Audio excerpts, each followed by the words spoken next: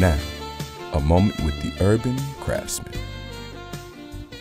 There's sometimes you lose the back of your phone charger thing, you know, the thing that you plug your line into to charge your phone. But we must remember that in the age of technology, you can charge the back of your phone as long as it has a USB port on anything. That could be a microwave if it happens to have a USB port on the back of it, and even a cable box.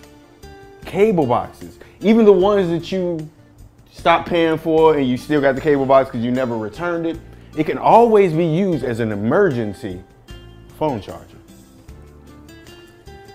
And this has been a moment with the urban craftsman.